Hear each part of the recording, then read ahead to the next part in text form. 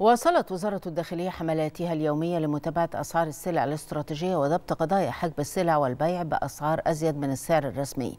وتمكنت الوزارة خلال 24 ساعة من ضبط 413 قضية تموينية بمضبوطات بلغت أكثر من 63 طن.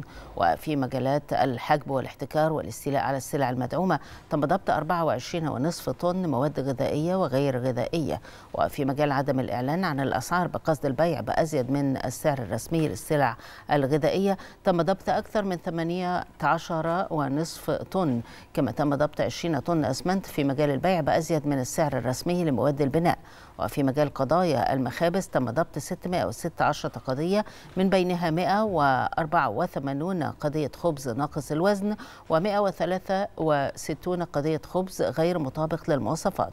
فيما تم ضبط ثماني قضايا بمضبوطات بلغت قرابة 107 أطنان أقماح محلية في مجال ضبط مخالفات التلاعب بمنظومة توريد وتداول القمح المحلي.